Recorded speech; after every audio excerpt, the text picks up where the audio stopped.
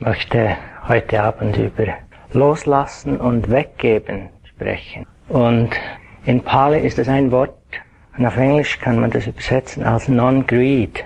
Und auf Deutsch musste ich ein Wort erfinden. Also das heißt jetzt Verlangenslosigkeit. okay? Das ist die Absenz, das Fehlen von Verlangen und Haft in unserem Geist.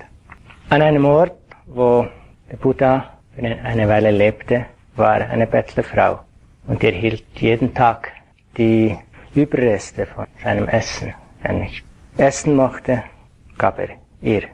Und eines Tages wartete sie wieder dort, verlangte nach dem Essen und Buddha sagte, ähm, diesmal musst du zuerst Nein sagen. Diesmal kriegst du das Essen erst, wenn du es zuerst ablehnst.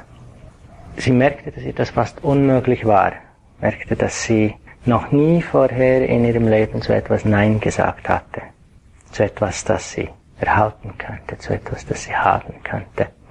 Und diesmal war sie gezwungen, zuerst Nein zu sagen. Das heißt, dass, als sie es endlich sagen konnte, sie eine außergewöhnliche Erfahrung von Erleichterung und Befreiung machte.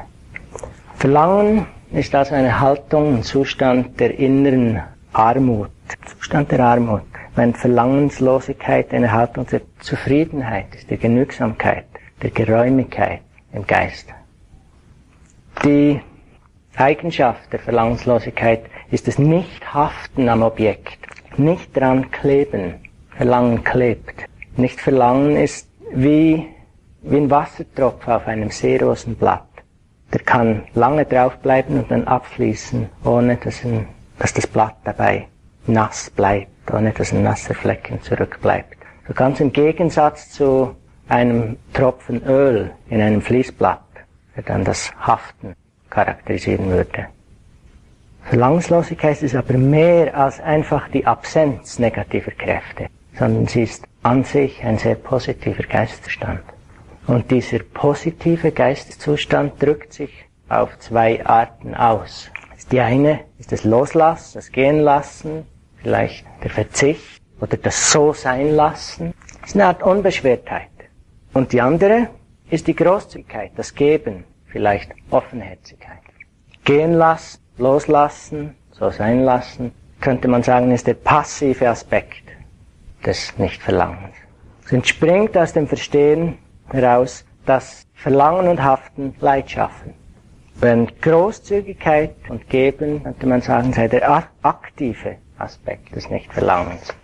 Und ist der Ausdruck der Verlangenslosigkeit motiviert durch Liebe, motiviert durch Verbundenheit. Und es ist interessant, die Handgeste zu betrachten, die Handbewegung zu betrachten, die wir brauchen, um diese Haltungen auszudrücken. Sind beide sehr ähnlich. Das Sein lassen, das Loslassen, ist die Hand öffnen und Großzügigkeit, der Geben ist die geöffnete Hand ausstrecken geben. Im Gegenteil zum Nehmen, festhalten. Zuerst möchte ich sein lassen, loslassen, betrachten. Äh, Verzicht und Entsagung, ist nicht sehr in heutzutage in unserer Kultur. Und oft assoziieren, assoziieren wir es auch mit Frustration und Verlust.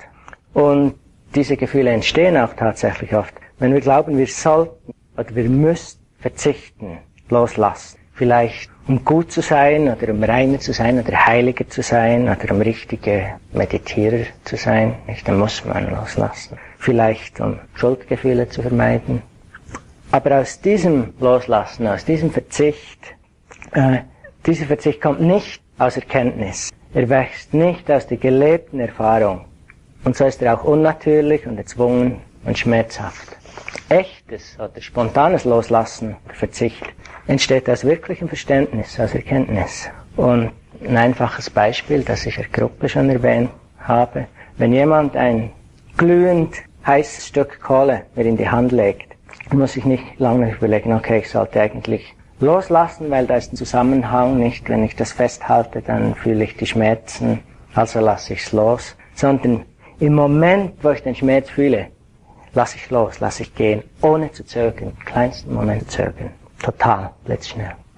Und das meine ich hier mit Loslassen, Verzicht.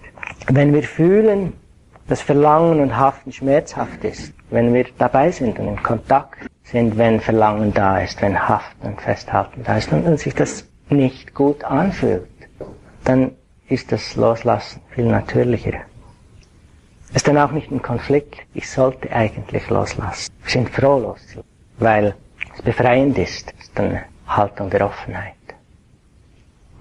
Und ob schon loslassen, aufgeben als Erkenntnis kommt oder kommen muss, gibt es zusätzlich Mittel und Wege, die wir brauchen in der Praxis, um es zu üben, um es zu fördern. Und eine Möglichkeit, ein Weg, ist das Arbeiten mit Verhaltensregeln, mit Zurückhaltung, mit Verhaltensregeln, wie wir sie erwähnt haben am Anfang dieses Kurses. Wir können sie anwenden, uns üben darin und schauen, was passiert. Also nicht irgendwie als absolute Regeln zu nehmen, sondern ausprobieren, schauen, was es bedeutet.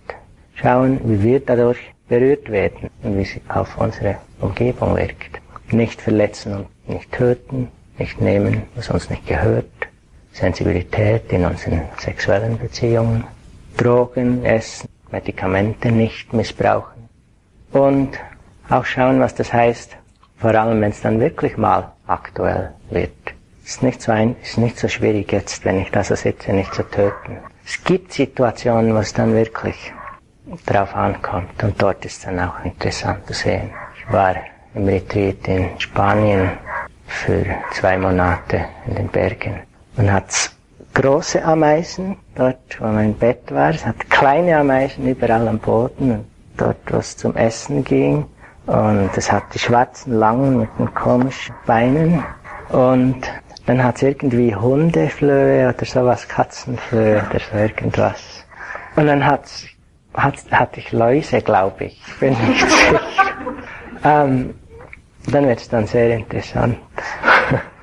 ähm, wenn wir in einer Beziehung jemandem leben und es ist wunderbar und alles geht gut, dann ist das einfach. Wenn nach vielen Jahren in dieser Beziehung ich mich plötzlich neu verliebe, was geschieht dann? Auch dort mit diesen Richtlinien zu arbeiten. Und oft gibt, gibt es keine Patentlösung.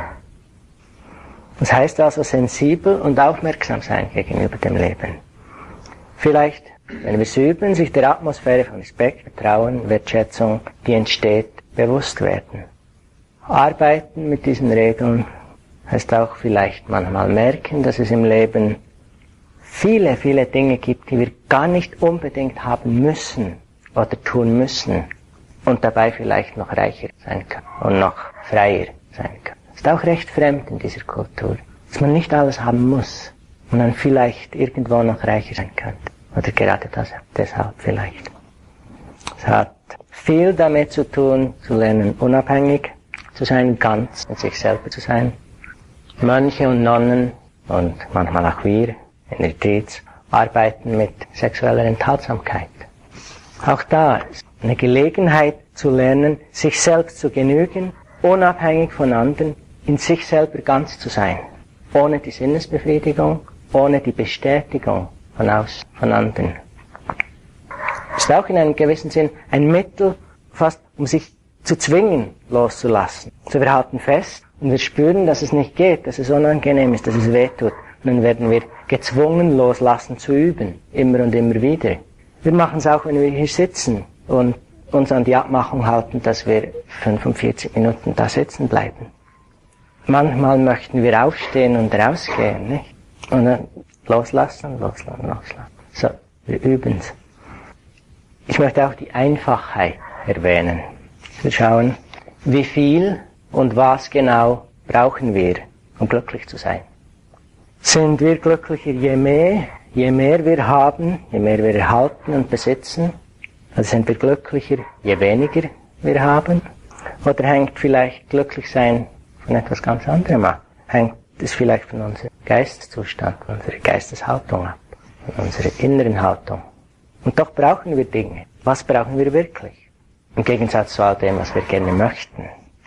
Äußerlich oder materiell gibt es so etwas wie die vier Minimalerfordernisse, die vier Notwendigkeiten. Buddha erwähnte sie, um Mönchen und Nonnen zu zeigen, was sie wirklich brauchen und was nicht. Und sind für uns genauso aufschlussreich.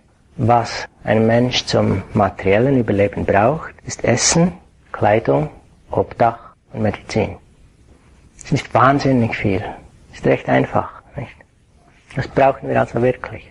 Ich erinnere mich zur Schulzeit, war ich sehr beeindruckt von einer Geschichte von Tolstoi. Wie viel Erde braucht der Mensch? Das ist ein Mann, der aus irgendeinem Grund, ich nicht mehr erinnern mag, ein Stück Land erhalten soll zur Belohnung. Und zwar kriegt er ein Stück Land so groß, wie er an einem Tag ähm, umgehen kann, zu Fuß. Vom Sonnenaufgang geht er los, so weit wie er laufen kann, bis er Punkt zurück ist am Sonnenuntergang. Und er muss zurück sein, okay? Er muss an dem Ausgangspunkt zurück sein. Die Sonne geht auf und der Mann läuft und läuft und läuft und läuft. Es geht gegen Mittag, Nachmittag und noch sieht er eine weitere saftige Weide. Geht weiter und sieht ein fruchtbares, wunderschönes Tal. Und er geht noch weiter und sieht einen wunderschönen Wald. Und dann geht er noch um den Wald rum. Und dann ist er so weit weg vom Ausgangspunkt, dass er stundenlang zurückrennen muss. Und er rennt und rennt zurück und er schafft es gerade noch zum Punkt zurück und die Sonne geht unter. Er ist so erschöpft, dass er tot umfällt. Und man schaufelt ihm ein Grab. Und das Grab ist ein Meter auf zwei Meter. Und Tolstoi sagt, so viel Erde wie ein Mensch braucht. Zum Stehen, zum Sitzen, zum Drauflegen, zum Sterben. Und natürlich brauchen wir andere Dinge, psychologischer, geistiger Natur. Wir brauchen ein Gefühl des Verbundenseins mit dem Leben. Liebe und Zuneigung. Wenigstens ab und zu. Wir brauchen Sinn, Lebenszweck. Wenn das Leben für uns seinen Sinn verliert, werden wir deprimiert, wir verwelken, sterben. Und trotzdem, was wir wirklich brauchen, ist nicht sehr viel. Und das meiste davon einigermaßen leicht zu haben, jedenfalls für uns hier im Westen. Leider nicht für alle, aber für uns sicher. Einige Aspekte der Einfachheit scheinen mir heutzutage besonders wichtig. Sind unsere Ansprüche und unsere Anforderungen an unsere Umwelt, an unseren Planeten. Dass wir uns fragen, wir müssen uns fragen, wie viel Tierfälle und Leder brauchen wir, um warm zu haben?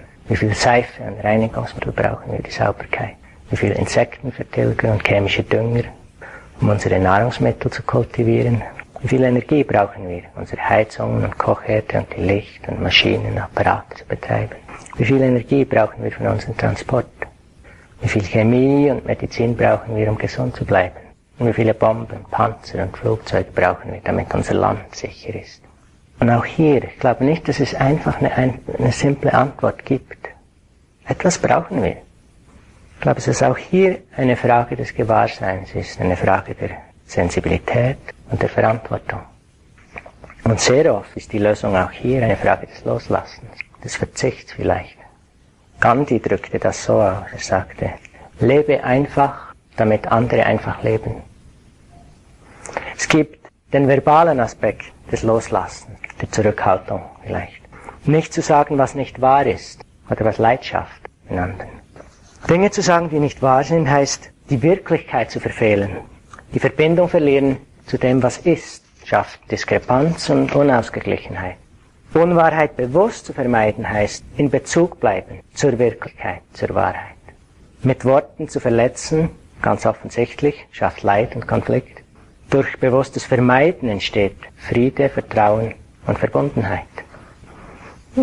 Ein wertvoller Aspekt der verbalen Zurückhaltung, besonders in der Retreat-Situation, ist das Schweigen waren vier Mönche, die beschlossen, eine Woche lang zu schweigen. Und die erste Nacht brachten sie in Meditation, die Kerzen brannten und gegen früh morgen waren die Kerzen runtergebrannt und offenbar wäre es die Aufgabe des jüngsten Mönches gewesen, die Kerzen auszuwechseln und neue anzuzünden. Und irgendwie hat er das nicht mitbekommen. Und der älteste Mönch hat sich aufgeregt und geärgert, bis er endlich nicht mehr an sich halten konnte und sagte, wechsle die Kerzen. Und der jüngste Mann hat gesagt, ich habe gedacht, wir wollen schweigen. Und wie der dritte Mönch das hörte, hat er gesagt, äh, ihr seid blöd, ihr sprecht ja. Und hat der vierte Mönch gesagt, es bleibt nur noch ich, der nichts gesagt hat. Schweigen ermöglicht die Stille des Geistes. Mehr als nur nichts sagen. Es schafft den Raum, in dem wir sehr viel innerer Bewegung erkennen können, die wir sonst gar nicht sehen, weil, weil wir immer gleich reagieren können nach außen und etwas sagen und kommunizieren. Schweigen schafft den Raum und die Weite, die uns erlaubt, zu merken, wie wenig wir eigentlich zu sagen brauchten und wie wenig Dinge eigentlich wirklich wichtig sind im Leben. Ganz enorm wichtig. Wenn wir es irgendwie entdeckt haben, den Umgang mit dem Schweigen, sehen wir auch, wie leicht und unbeschwert wir eigentlich durchs Leben gehen können. So viel, dass wir gar nicht müssen. Ich möchte eine Passage aus Huxleys Island lesen, wo von dieser Unbeschwertheit oder von dieser Leichtigkeit gesprochen wird. Leichtigkeit als Lebenshaltung. Es sind die Worte, die eine Frau zu ihrer Mutter sagt, die im Sterben liegt. Erinnere dich an das, was du mir gesagt hast, als ich ein kleines Mädchen war, Mutter. Mit leichtem Sinn, mit leichtem Herzen. Lerne alles mit leichtem Sinn zu tun, zu denken und zu empfinden. Selbst dann, wenn du tief empfindest. Und siehst du, jetzt werde ich dasselbe zu dir sagen, Mutter. Mit leichtem Sinn, meine Liebe, mit leichtem Herz, selbst wenn es ans Sterben geht. Nichts Gewichtiges, nichts Unheilvolles, nichts Übertriebenes. Ohne große Reden, ohne mit bebender Stimme Goethes letzte Worte oder die Nachahmung Christi inszenieren zu wollen. Auch ohne Theologie oder Metaphysik. Einzig die Tatsache versterben.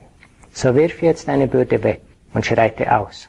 Um dich herum ist Treibsam, der dich in Furcht, Selbstmitleid und Verzweiflung herunterziehen möchte. Und darum musst du leicht ausschreiten, auf Zehenspitzen, ohne alles Gepäck, ganz und gar unbeschwert.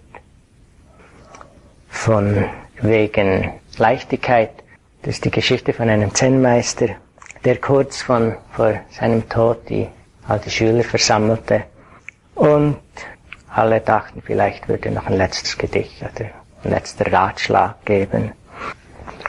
Und weil es das letzte Mal ist, wie sie zusammenkommen, hat jemand seine Liebling, Lieblingstorte gebacken und die mitgebracht. Und der Meister nimmt ein Stück seiner Lieblingstorte, beißt ein Stück ab und isst. Mmh, wunderbar. Und stirbt. Leichtigkeit. Das bringt uns zum Innen loslassen. Das Gehen lassen unserer Ansichten, Meinungen, unserer Rollen, Self-Images, das Gehen lassen unsere Gewohnheiten manchmal, konfrontieren, arbeiten und loslassen oder doch vielleicht einfach sein lassen. Vielleicht ist gar nicht im Loslassen, weil das ist schon zu viel. Das Sein lassen von Verlangen, sein lassen, sein lassen. Einfach mal sein lassen und schauen. Das ist der Geist, der angefüllt ist mit Ansichten und Meinungen, wird verglichen mit einem Gefäß, das mit Dreck gefüllt ist. Das ist ein Gefäß, in dem kein Platz mehr ist für klares Wasser. Der Meister Nan In hatte einen Universitätsprofessor zu Besuch, der bekannt war, dass er sehr bekannt dafür war, dass er sehr eingebildet war auf sein Wissen, eben auch sehr viele Meinungen und Ansichten hatte über alles und jedes. Und die beiden saßen zusammen zum Tee trinken und der Meister schenkte den Tee ein in die Tasse, bis die Tasse voll war und bis sie überlief und fuhr fort einzuschenken und einzuschenken und der Professor sagt, halt, halt, stopp, da geht nichts mehr rein, es fließt ja schon über, ist ja schon zu voll. Der Zen-Meister hat genauso ist mit deinem Geist, ist schon übervoll ein bisschen lehren. Das heißt nicht, dass wir keine Ansichten und Meinungen haben, aber dass wir sie für wahr und wirklich halten. Unser Haften, unsere Identifikation mit diesen Ansichten schafft endloses Leid. Und dabei können wir sehen, wie eine Stunde später eine andere Meinung, eine andere Ansicht über die gleiche Sache haben. Aber dann ist die die richtige nicht.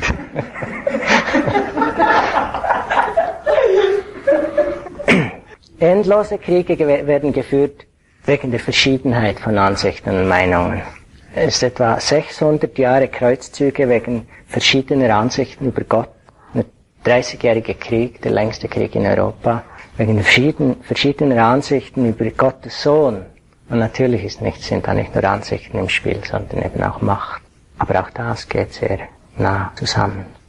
Der Zusammenprall der Ideologien, Kapitalismus, Kommunismus, konservativ, progressiv, grün, schwarz, endlose Streitereien zwischen Freunden und Partnern, weil wir festhalten an Meinungen. Dass wir unsere Ansichten und Meinungen sehen loslassen oder ein bisschen den Griff lockern. Das macht das Leben so viel einfacher und so viel leichter. Dasselbe mit Rollen, mit Self-Image. Ich werde morgen noch, ein, noch darauf eingehen näher. Schauen, bin ich eine Therapeutin bin ich die Frau Doktor, der Herr Doktor? Ich bin Meditationslehrer. Was tun wir da, wenn wir uns fixieren? Ich bin sowieso ein Verlierer. Ist ein Kasten und so ist's. Schauen, wie, wie wir damit umgehen und wo wir loslassen können. Auf einer meditativen Ebene bedeutet das auch das Loslassen, das Gehen lassen von Gefühlen, die kommen und gehen, von Emotionen, vor allem von Inhalten. Und auch hier vielleicht ist es manchmal mehr nicht den Loslassen, so dass sie dann weggehen. Das ist sehr oft das Missverständnis. Ich habe eine Wut und wenn ich die jetzt loslassen würde, würde sie augenblicklich verschwinden. Ist mehr vielleicht das Durchlassen oder das So sein lassen der inneren Erfahrungen und, und Happenings. So das nicht ständig eingreifen wollen und manipulieren und kontrollieren wollen. Das Durchlassen. Ein Gefühl davon, wie das sein könnte, vermittelt uns vielleicht ein Gedicht aus dem Zenrim Kushu. Stillsitzen und nichts tun. Der Frühling kommt und das Gras wächst von selbst. Ist einfach. Stillsitzen und nichts tun. Der Frühling kommt und das Gras wächst von selbst. Mir scheint das alles über Loslassen, Aufgeben und Zurückhaltung in einer Aussage von Ajahn Chah brillant zusammengefasst wird. Er sagt, handle aus einem Geist, der nichts festhält. Erwarte keinen Lohn und kein Lob. Wenn du ein bisschen loslässt, erfährst du ein bisschen Friede. Wenn du viel loslässt, erfährst du viel Frieden. Wenn du völlig loslässt, erfährst du völligen Frieden und Freiheit. Und ein Kampf in der Welt wird beendet sein. Wenn wir ein bisschen loslassen, ist ein bisschen Frieden. Wenn wir viel loslassen, viel Frieden. Wenn wir ganz loslassen, ganz Frieden. Für die restlichen paar Minuten möchte ich noch den anderen Aspekt der Verlangenslosigkeit berühren. Der aktive Aspekt des Gebens, der Großzügigkeit. Ist vielleicht der beste und schönste Ausdruck der Praxis und des Lebens. Khalil Gibran erwähnt verschiedene Gründe und Motivationen fürs Geben. Es gibt jene, die geben um der Anerkennung willen. Ihr verborgenes Begehren verdirbt ihre Gaben. Es gibt jene, die an das Leben und des Lebens Fülle glauben. Ihr Kasten ist nie leer. Es gibt jene, die mit Freuden geben, und jene Freude ist ihr Lohn. Es gibt jene, die mit Schmerzen geben, und jener Schmerz ist ihre Taufe. Und es gibt jene, die geben ohne Schmerzen, nicht wegen der Freude und auch nicht um der Tugend willen. Sie geben so, wie die Blume ihren Duft verströmt. Durch ihre Hände spricht Gott, und aus ihren Augen strahlt sein Lächeln auf uns. Und er sagt auch, ihr gebt wenig, ihr gebt nur wenig, wenn ihr von eurem Besitz gebt. Erst wenn, ihr von euch selber gebt, gebt ihr wahrhaftig. Und so ist Geben also auch helfen, heilen, unterstützen, fördern, dienen. Es gibt unzählige Manifestationen davon. Hier ist von einer katholischen Schwester, die erzählt von ihren Erfahrungen mit Dienen und Helfen. Als ich nach Nicaragua kam, hatte ich jede nur denkbare Vorstellung und Erwartung von Helfen und Dienen. Ich kam auf diese alte Baumwollfarm, wo 300 Leute lebten. Ein unglaublich heißer und kahler Ort, mit meilenweit von nichts ringsherum. Und wir sollten helfen, den Ort wieder aufzubauen und auch Raum schaffen für noch mehr Leute. Es ging nicht allzu lange, bis mir klar wurde, dass ich hier als Teilnehmer für den Kurs des Lebens registriert war. Meine erste Erfahrung, die Schrecken der Armut, welche, welche ich bis dahin nur aus den Zeitungen kannte. Kein fließendes Wasser weit und breit, keine Elektrizität, Unterernährung, Krankheit. Die Leute lebten in riesigen Einraumhäusern aus Materialien, die wir normalerweise fortwerfen. Das Wasser musste kilometerweit herbeigeschleppt werden. Doch die Leute beklagten sich selten. Nicht, dass sie etwa Heilige waren, aber sie begegneten allem mit einer Haltung von hier sind wir, lasst uns das Beste daraus machen. Ihr Leben hat eine starke Moment-zu-Moment-Qualität und ich lernte, fang dort an, wo du bist, tue das Naheliegende. Ein Junge kommt vorbei und wäscht unseren Wagen. Wir laden ihn zum Essen ein als Lohn. Und er ist, als wäre es die letzte Gelegenheit in diesem Leben. Und plötzlich hört er draußen ein paar andere Kinder. Er hält inne, geht hinaus und bringt ihnen sein Essen. Und ich sehe, dienen heißt teilhaben lassen. Dienen heißt auch sterben. Man stirbt beim Dienen. Man stirbt ins Dienen hinein. Sie fragten uns, die Revolution wird hier sein morgen. Was wollt ihr da tun?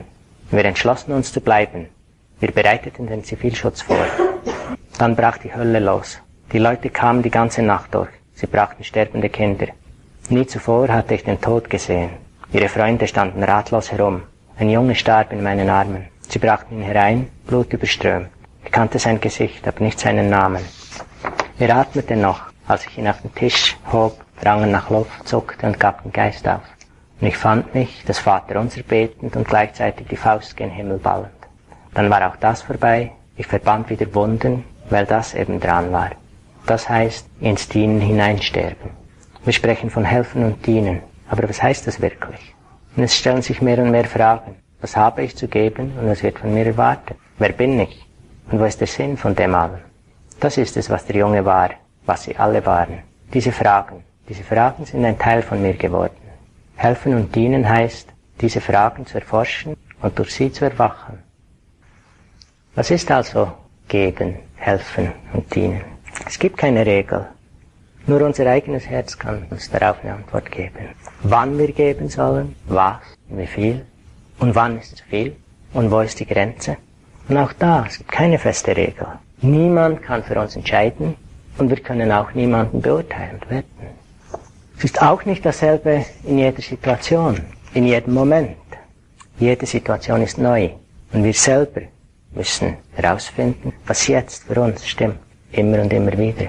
Ausprobieren, üben und unser Herz befragen. Wissen wir, wann es genug ist, wann es zu viel ist, bevor wir geben oder erst nachher? Ich glaube, dass es auch da wichtig ist, dass wir mit unseren Grenzen spielen, dass wir die Grenzen in Frage stellen, sie erweitern in unserem Tun, im Sein, in unserem Dienen und Helfen. Und auch in der Meditation, von Moment zu Moment. Sich hingeben an den Moment.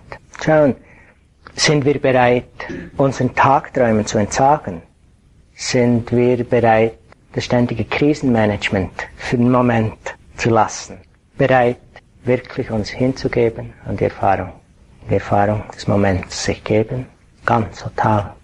Sind wir bereit, in den Moment hineinzusterben? Die Verlangenslosigkeit manifestiert sich also in unserer Praxis und in unserem Leben auf zwei Arten. Im Loslassen als die Freiheit der Lehre und im Geben als die Fülle der Liebe.